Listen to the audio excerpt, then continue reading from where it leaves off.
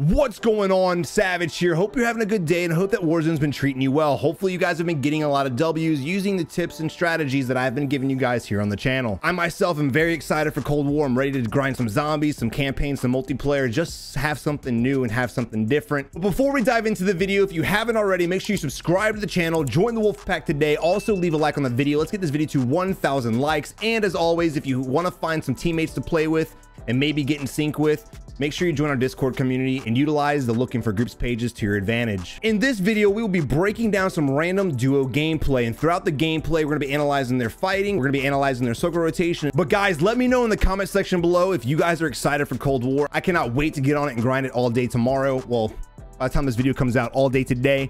So make sure you follow me over on Facebook Gaming. The link to that will be in the description below. And we're going to be playing Cold War, Zombies, multiplayer, campaign, the entirety throughout the entire stream. But without further ado, let's go ahead and dive into the video. All right, but here we are spectating my dude Love Nuts and his homeboy Get Aim. Now, with time, we're going to see if your boy's aim's on point and if our dude really loves nuts.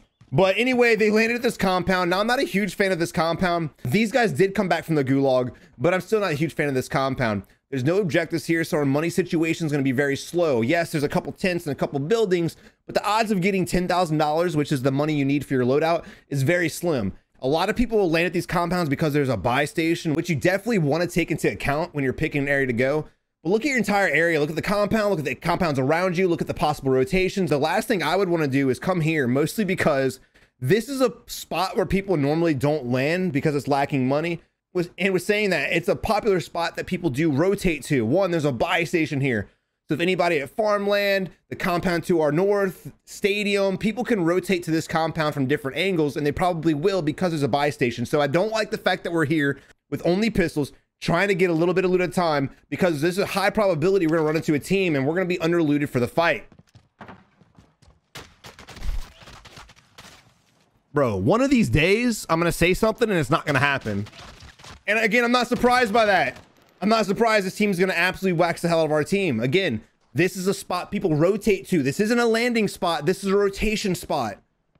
And of course, these guys, you know, they have their basic bitch weapons. Um, I believe they have their basic bitch weapons. And of course, they're going to come here trying to get the buy station so they can get their loadout and other perks and things like that. And guys, knowledge like that just comes from playing the game a lot. When you start playing the game a lot, you'll start you'll start realizing which compounds are good compounds to land at, which compounds are bad compounds to land at, and which ones are great for rotations. If you guys want me to make a video purely on what compounds I recommend you guys land at and which ones to stay away from, let me know in the comment section below and I can get started on that video as well if it's highly requested. Look, this is not a good area to be in. They've already kind of threw the game landing at that spot coming back from the gulag because this compound to our left, it's a very hot spot for people to land at. So if you go here, even if there aren't people there, you're not gonna get any money, right? You're not gonna get any money. There's a little compound right here. I wouldn't say a compound. There's a building right here. You could probably get a couple thousand dollars from maybe best case scenario. But again, not enough to get your teammate back or enough to get your loadout. And then talking about the compound up here to our west, absolutely not. This is also a pretty hot spot for people to go, but mostly it's a great rotation spot because there's usually a buy station there. And then with the high roofs, people love sitting there and contesting all the compounds around. So this is a very bad spot to go to. So again, originally their landing spot probably costed them the game. We'll see what happens. This guy may get lucky. But again, you want to base where you land at kind of solely on your plans to rotate. That's why a lot of people land Superstore because the rotations at Superstore are just drastic. You can go airport, you can go hangars, you can go the apartments to the south, you can go to Boneyard, you can go anywhere you want. Um, same thing with stadiums. You know, I'm not I'm not a huge fan of stadium to be honest, but stadium you can rotate to downtown and then hop the promenade. There's great rotations. When it comes to landing on the east side of the map, you got to be very careful of what compounds you pick because the east side of the map is pretty wide open and it's harder to rotate from area to area. But fortunately for your boy though, he's he it looks like this didn't even looted, which is very surprising. Very surprising. This is actually one of our old favorite spots to come. We probably landed here more than any other place combined at, in my entire time of playing Warzone. Um, I might do. Oh, you have an enemy coming up. We have footsteps, ladies and gentlemen. All right, so now that we have footsteps, now that we're in combat, there are many things we can do. The chance that the enemy didn't hear us is slim to none. And the enemy has already left the building. And again, this comes down to headset. Clearly, this guy doesn't have a headset, or he would have heard that the guy has left the building. The guy ran out the left side. We should have instantly rotated to the window and shot down on the enemy we're going to be sitting here for a long time, I think, wasting wasting a lot of valuable time. You can hear the glass breaking in the background, another sign the enemy's not anywhere near us. Not really sure what you're doing, but if for whatever reason this guy was to push you, a solo or a duo, again with a shotgun meta, he's probably going to screw us up. So you definitely want to utilize the windows and the building layout to your advantage. So if he does push up with a shotty, I'd already be out that window trying to come up from behind him to get a little bit better angle on them.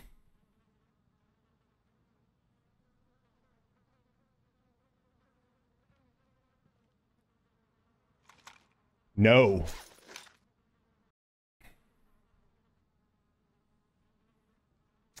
It's okay. We'll wait.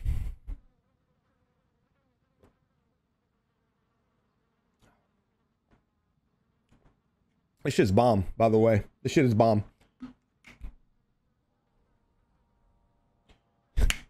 Dude, okay, everyone stop the video right now. Everyone pause the video. Go into the comment section below.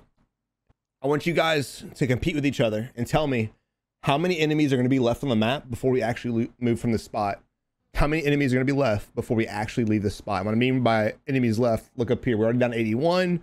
I'm voting 65. I'm going to go with 65. And if it happens to hit 65, I swear to God, I didn't cheat. I'm thinking he's not going to leave this building for a very long time. And look, when it comes to fighting guys, if they don't push you instantly, and again, if eh, he didn't hear it, clearly he did not hear it, he didn't have a good headset, that's fine. But if they don't push you within 30 seconds, they're probably not going to. So at that point, again, waste of time. You guys want to rotate out of the building and back in through downstairs and try to flank the enemy from behind when they least expect it. Oh, shit. oh, back upstairs. Here we go. Hell yeah. Hell yeah. Let's break another window. Come on, break it. Let them know we're here. I, I can't wait to see him shoot, though. With a name like Get Aim, bro, he's to be a slayer. An absolute slayer. This dude's gonna be cracked out on every energy drink supplement known to man. I can I can feel it in my bones, guys. All right, ladies and gentlemen, Get Aim is finally on the move. Explosions going off to the east. We have no idea what's going on, and we're still just rocking it. Uh, correction. Explosions off to the west. Teams are fighting at the compounds over there by the buy station, and we're sitting here thugging it out, trying to loot the compound, trying to find a little bit of money, get our teammate back, but we can't. Why?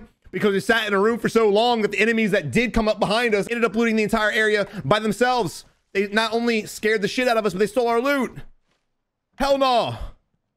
Oh, here, here we go. Here we go. We got a bison. All right. All right. I don't know what we're doing right now. So guys, when it comes to when it comes to anything in this game, don't do this. This is again what normal players do, and I'm not hating on anybody. We're kind of having fun. We're taking shots, but at, at the end of the day, it's all constructive criticism. You guys don't want to play like this. You guys want to move out and get loot as fast as possible. Every second wasted is a possibility that you get flanked by two people with their loadout and again with both teammates and you get absolutely shit on. You want to try to get your teammate back as fast as possible. Not to mention we have a free loadout drop over there. He even looked at it. He even ADS'd on it. He knows it's there. So I'm not sure exactly what our plan is. We have a vehicle coming up to us from Superstore or he's probably driving past us going to fire station. But regardless, just be aware of the minimap as always. I don't think this kid's going to do anything. Vehicle got out at fire station, so we need to keep that in mind in case we decide to rotate there. We have three minutes till the circle, so the gas forces us into the circle, and the circle is really not looking like it's favoring us at all. Again, we have a free loadout drop. We're just to completely, I'm, I'm to, I'm to go ahead and bet he's not to grab. Um, and then we got to get safe. Now, this compound to our west, that's within the circle, is a great spot for people to gate gatekeep because of the rooftops. And then you have bank, and then you have this little building right here. You have all these buildings. This is like literally a compound of just screw you buildings. He's going to be very lucky if this compound's not already looted. Again, because there's usually a buy station here. This is probably one of the more consistent compounds to have a buy station. Not always, but literally probably 90% of my times playing this game, there's a buy station here. Also, what? What? He, I think he got mad. also, look. I can't even focus right now. Hold on. Lost my train of thought. Chill, chill, chill. Also, look, he's sitting here busting out windows and stuff like that and blowing through doors. But look, you can still be quick and efficient without making a shit ton of noise. You're in a compound that's usually pretty popular. And even though we don't think there's people here because there are boxes, and things like that, you don't want to risk it. You want to play as if people are always near you. Yes, you play a little paranoid, but that's that's what keeps you on your toes. That's what keeps you that stealthy aspect. You don't want to just go around busting every window out, shooting your gun in the air like you're Rambo. That's not the way to play. You guys need to start playing with a little bit of sense of awareness, a little bit of sense of security, and start playing as if there's people camping in this building so you don't just blow through the door and blow through the window. I mean, I'll blow through the doors, but blowing through windows, no, no, no, no, no. Way louder than busting open doors. Way louder. You can hear windows breaking fucking, you can hear windows breaking 30 buildings away almost, you know? So just avoid breaking windows if you guys are, if you guys are in this position. I do apologize in advance. This is going to be some very slow gameplay unless a team, unless a sweaty team actually drops on them and kills them. They are in the edge of the circle, but they don't have guns to be gatekeeping. I don't know what your homeboy is staring at the sky with a pistol for. That looks real weird. is that like some James Bond type shit right there? That would have been a good thumbnail. That would have been a great thumbnail. Maybe he has stick drift. Who knows? He drops a plate for his teammate. He may not might not be here. I don't know what the hell's going on. Oh, he's back. Hey, welcome back to the game. Love nuts. Maybe he's busy. Maybe he's busy.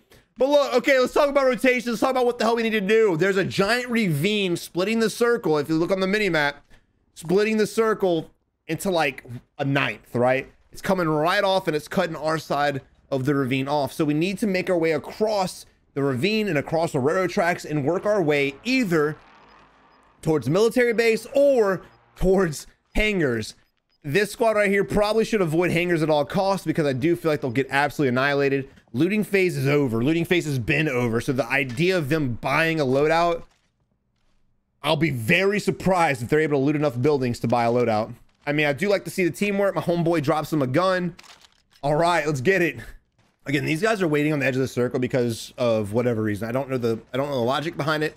I don't know their thought process behind it, but it's not a good strategy because we're going to be having the gas push us to safety. And if we get in a gunfight, even though we're probably going to lose it, if we get in a gunfight, we're definitely going to be screwed because we're going to have to fight the enemies and we're going to have to fight the gas. Not to mention, yeah, we have a gas mask, but I'm pretty sure our teammate does not.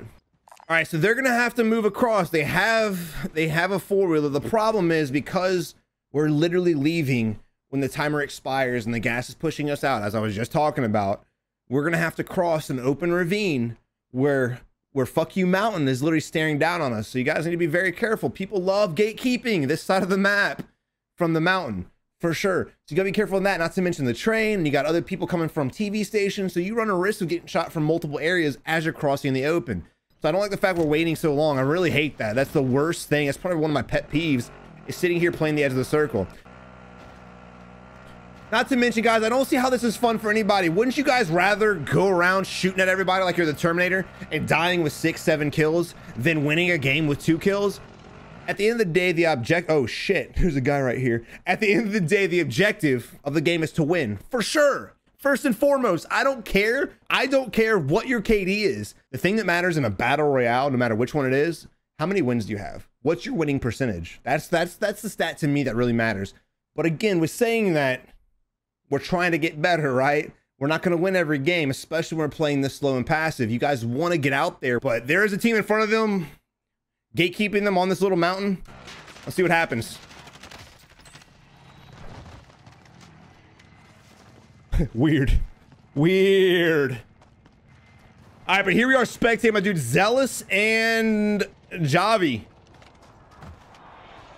He's rocking the VLK on the Kilo. Really good build on the Kilo. I love the fact he's using Commando foregrip. Now, there were questions in my comments. Well, there have been questions in my comments saying, Savage, what type of grip do you recommend for ARs? I always, always, always recommend a Commando foregrip, except for the AMAX. For some reason, for some reason, Dude, the Ranger on the AMAX is just the tits.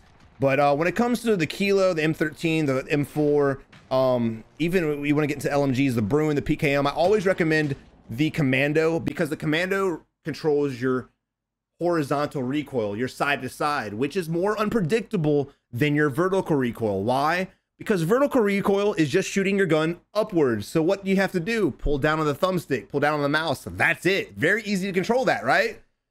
However, talking about horizontal recoil, which again is controlled by the Commando foregrip, is side to side. The problem with it is it goes from side to side. It's not like it just shoots to the right.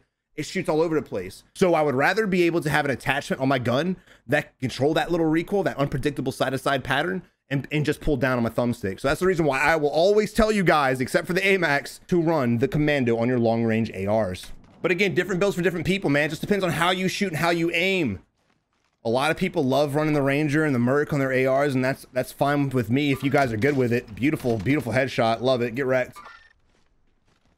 I know I'm kind of moving everywhere, but I just did legs today, so my legs are super sore. Y'all gonna have to forgive me, all right? All right, let's talk about rotations again. Now, this is a massive circle for only 30 people. This is a big ass circle for only 30 people. So we're gonna have a little bit slower of a game.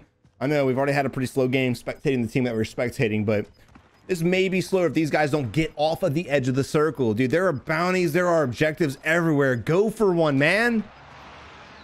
Here we are mid-game. Uh, based on the player count, I would say this is end-game. We have our loadout. We have plates. We need money or we need enemies to fight. And Blue is still sitting here looting different buildings, looting the titty towers, looting everything. Oh, here we are too. We're joining right in. We should be taking this time to go get kills. We have everything we need. We really do you guys really want money for UAVs and things like that, or self-reses, go get money. There's a scavenger bounty right at the hangars. Like there's so much shit you can do. You should not ever get to the point when you guys have your loadout you're doing this. You're, you're just you're just sitting here doing nothing. Now these guys are making it look a little bit better than the last squad, but technically these guys are doing the exact same thing as last squad was doing. These guys move a little faster. They're able to get a couple shots off. They're able to YY and change their weapons really fast. That's fine. That's cool. But it's all just for show. It doesn't make you a better player. I honestly put these guys in the same category as the other guys because we're playing the exact same way. We need to be rotating to the circle before the gas pushes us there. The reason being is because guess what? Gatekeeping is a massive thing in this game. And what are other players going to be doing to you? They're going to probably try to get on these buildings, either this rooftop or the rooftops at hangars or even the rooftop at the car dealership. And guess where we have to go? One of those. So we run the risk of allowing another enemy team to get there before us and getting absolutely blown away by them. Again, if you're in a stagnant part of the game where you haven't seen a player, move out. They're not just going to come to you guys. Players don't just come to you, especially when you're walking on a compound. They're probably going to see you. And most of the time, unfortunately, avoid you unless you're in a super sweaty lobby. But the players you're trying to get easy kills on, they're not going to come to you. They're going to be avoiding you at all costs, hiding in a building, things like that. So again, we need to be rotating inwards to get the safety so we can start picking some fights. And again, all we're doing is we're making it look good. We're making it look good by ADS and really quickly and randomly throwing decoys and and doing this stuff. But again, I always tell y'all, don't put yourself in a cubby. Because what if, what if there was a team at Hangars and they saw us come in here because we're just running back and forth and doing crazy shit and just all over the place? What if there's a team at Hangars and they saw us? Now imagine they're sweaty. Oh, oh, bro, they're gonna they're gonna come right up in here, throw everything they have at us: thermite, C4, concussions, stickies everything. We're not to stand a damn chance because we have no way out of this area without leaving this part and putting ourselves in the open.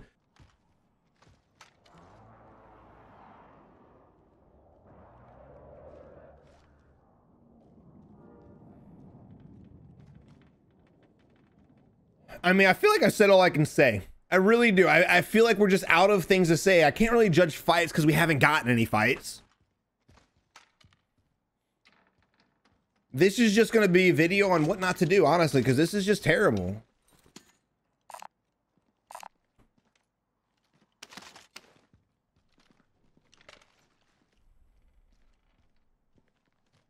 He's super hyper focused on there. I want to go ahead and throw out a little thing.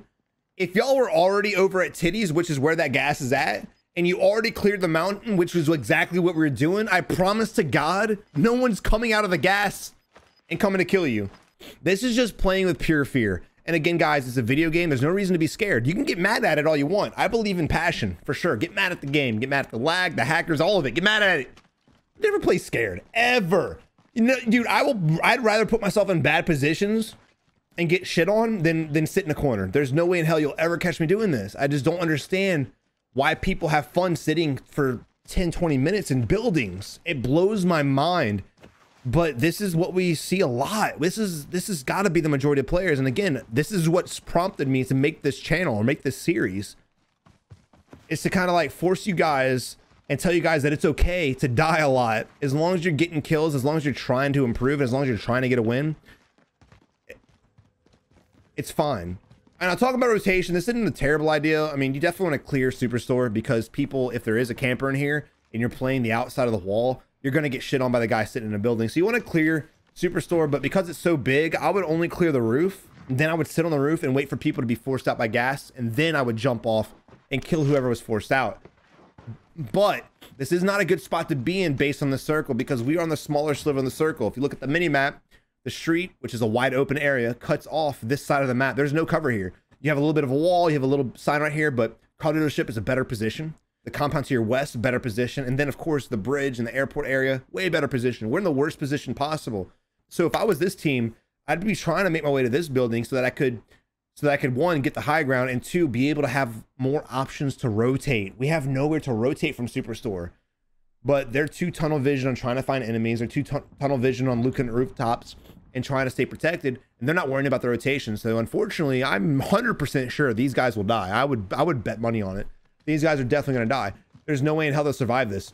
And because every other side of the circle that's safe has a great compound, and we're on the side of the circle that has nothing, there's no way we're surviving this. Period. We're wasting too much time. We're taking too long. And then, and this is exactly why I tell you guys, stop overstaying your welcome. And here we are on the ledge. I'm surprised if he didn't get shot in the face. Blue just got downed. And we're going to walk the same way Blue just went to. Try to get the res off. Dude, these guys end up winning this game. I'm going to look like an idiot. Never Never, never clear an area while you're in your scope. Ever. I don't care what your field of view is, you're going to be narrowing your field of view drastically. And if you're trying to scan an area, why would you why would you limit it? If you're scanning, why would you want to like look out of one eyeball? That makes no damn sense at all. Get out of your scope. Only ADS if you see an enemy. There's no reason to do anything else. You can't drag scope an AR. And and, and, and again, in this game, the time to kill is so fast. If you're in your scope, and you see them over here and you're going to have to drag scope, your time, your sensitivity is going to be slower than that kid there because he's not going to be in his scope and he's going to shoot you first and absolutely shit on your face. This is terrible. Not to mention, he's not in the gas. There are only four enemy teams left, seven enemy players. We know there's an enemy team right on this roof, of course. That's unfortunate for you, brother. I don't like that scope at all. Ew. Ew, that scope. Uh, rough. Rough.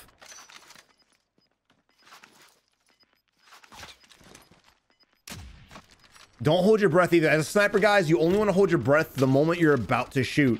Don't just sit there holding your breath because you're going to miss your shots once once you start swaying. And of course, because we weren't focused on rotating earlier, um, we're in the middle of shooting in one team, and of course we get shot at the other compound over here that's even safer. And in this position, there's nothing we can really do. There's a team sitting in the bus. The bus is not a good position either. That guy's kind of just on the same page as we are. These guys had no plans to rotate. Now, the team that was on top of the red roof, they have the best position because they're going to be able to rotate to the bridge, get the high ground, and hopefully win the game. And that was the dude in the wetsuit, so we'll see if they're the ones who actually win the game. Of course, Poppy Chulo, again, think, talking about rotations. You're sitting in a bus this whole time. You're not trying to get across. You're going to die. Now you're like, Savage! Even if he wouldn't have sat in the bus, he would have crossed the street. He still would have died. Eh, maybe. But guess what? The circle was a lot bigger, so the players were spread out a lot more. So what so what does that mean? Well, if the players are spread out more, the chance of them sitting right here watching the open is very slim. You guys want to rotate before the circle encloses because again, the tighter the circle is, the more clustered the enemies are, and if you're in a bad position, you're gonna get shit on. There's no doubt about it. So I'm not surprised that happened the way it happened. Uh, the team that's on the garage actually has the best position right now, for sure. Now the team that was on red roof, they're still safe. They're still in play. They can get on that bridge. They can get on the rooftop. This is actually the team. Let's go. Yeah, it's Wetsuit Boy. Now in this position, the the top of airport is your best spot to be in. But again, if there's already a team up there and you gotta you gotta make your push based on that, there's a team up there, you're gonna get shit on trying to get the zip line. So these guys decided instead to rotate to the bottom of the garage and kill the team that's sitting right here behind the tent. I love the fact that he utilized that little crack between the wall and the tent to get the shots off from this enemy who's sitting perfectly still. That too, guys, there's no reason to be shooting your gun if you don't see the enemy. Now, if you're pre-firing the enemy walk around the corner, that's fine. But we were just popping ourselves out of the corner trying to look for the enemy and just spraying in hopes that we're going to hit the enemy. All right, ladies and gentlemen, we are in a 2v2 situation. Again, I think these guys may be on the top of the roof. And if they are, it's going to be kind of a kind of a hard fight. It's, you're really going to have to rely on the circle rotating to you to favor you and um, hopefully shit on this team. Now the circle rotates on the other side of airport, we're probably gonna end up losing. It's one thing I hate about the final circle, man. It really just, really just depends. One thing you should be doing, one thing this team should be doing again, when you're in a situation, whether it's in game, mid game, early game, it doesn't matter. When you're in a position like this, and you know there's people around you, you need to be getting on this bridge. Granted, most of it's out now; it just closed, but you need to be getting on this little, this not bridge, this little ramp, and kind of peeking up because I guarantee you the enemies are looking for you. So if you can get eyes on the enemies on top of the roof, you can tell yourself, okay, yeah, they're on the roof. Now we don't know if they're on the roof. We don't know if they're on the second floor. We don't know if they're on the first floor. We don't know if they're on the other side of this wall. We have no idea because we're not looking. We're just sitting in a corner just praying. Uh, they don't. We've heartbeated 900 times. This circle's so small. Guess what? The heartbeat sensor? Nobody's on it. They have ghosts. You can stop. Now we have circle favor. So what would I do? I'd get on that ramp again. Stop looting. Get on the ramp, brother. Get on the ramp and see if these guys jump off.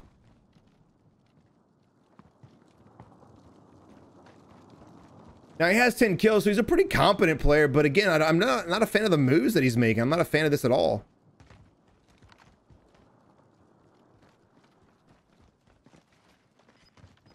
But again, the circle did rotate to us, so it's it's, it's very probable that we're going to win this, this fight. I like the fact that he utilized the brick wall as cover instead of standing in the open like his teammate did. That was definitely not the play, but luckily for him, we were able to get shots off on both enemies, which gave him the position, which put him in a position to get the kill. So that was a good play. Um, we're gonna, dude, is he gonna get it? We're gonna try to get, oh, we're gonna try to get a final kill with that. Hey, got it. All right, Zeke, and let's go, brother. All right. Now, look, I know that whole game was kind of rough to spectate. Unfortunately, you know, sometimes we get some good games, sometimes we get some bad games. But again, there are a lot of lessons to be learned in this video because there's a lot of players that are watching this video that are like, damn, I do that shit too. Damn, maybe I should stop doing that shit. Man, Savage went hard on these guys. Maybe I should cut it out. I'm not actually trying to troll these kids in their grave. Everyone's trying to get better. Everyone's trying to improve. Now, this is the reason why I don't just post 20 kill games because yeah, I could teach you a few things off of that. But again, I'm a firm believer in learning from your mistakes and the mistakes of others. So that's why I love posting these gameplays. It may not be as exciting, it may not be as intense, but there are lessons to be learned because clearly the word of Savage has not reached everyone yet. So hopefully one day that will, and we can stop posting these gameplays. But until then, guys, thank y'all for watching. I really hope you enjoyed the video. If you did, leave a like on the video. And as always, subscribe by hitting the button below. You have a good one. Until next time, keep on improving. Thank you for watching. I really hope you enjoyed the video. If you did, make sure you check out one of these two videos. And as always, subscribe by clicking right there. You have a good one. Until next time, good luck in Warzone.